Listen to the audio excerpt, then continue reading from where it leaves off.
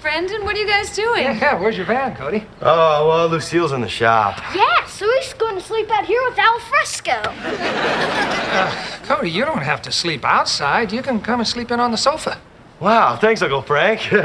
you know, they were predicting hail for tonight, and a welding helmet only covers up so much. Yeah, you just pack up your stuff and you can set up right in the living room, huh? Right, honey? Uh, yeah. Come on, Doozy.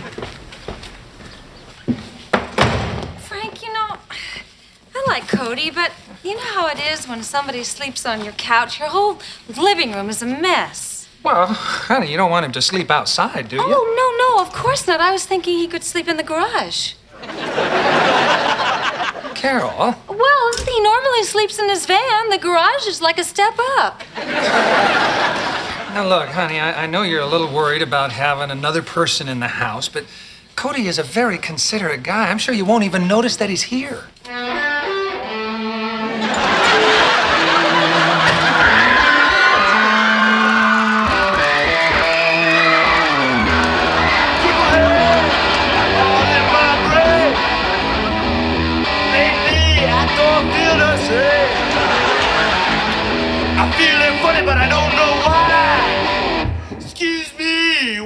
Kiss the sky.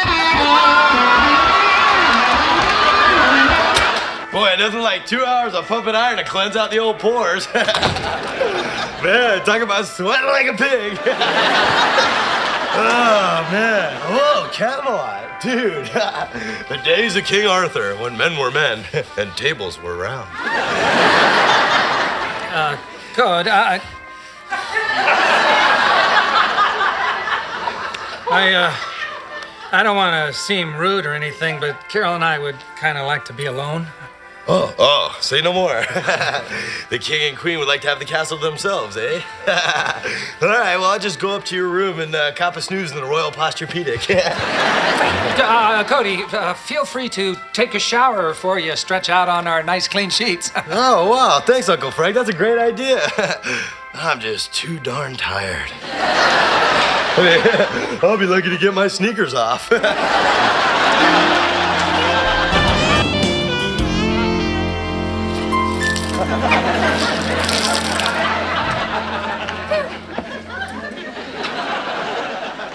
Oh, hey guys. Don't slip in the wet spots. This stuff's leaking all over the place. Cody, what are you doing in my kitchen? Oh, I'm uh, lying dry in my unspeakables. yeah, I do it outside, but it's gonna drop below freezing tonight, and I don't want Jack Frost nipping at my delicates. uh, Cody, uh, why don't you and I go for a drive? Where? Canada. Wow, cool, a road trip. Yeah. all right, man. Then we could drive all the way straight up through the North Pole sure. and come around up through Texas. Dude, we might need change. I just gotta say one thing, and I hope you don't take this the wrong way. You guys are really getting on my nerves. We're getting on your nerves? Oh, you noticed it too?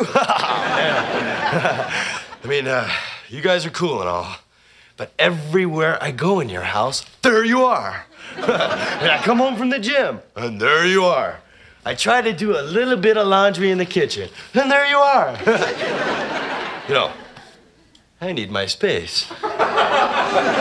Oh, I know exactly how you feel. So when I was out walking, this light came on in my head. You know, at first I thought somebody was flashing me their high beams. but then I realized it was an idea. I mean, hey, just because Lucille doesn't run anymore doesn't mean I can't live in her. I mean, hey, plenty of people live in non-moving structures and lead a perfectly normal life. So, you're gonna move back into your van? Yeah.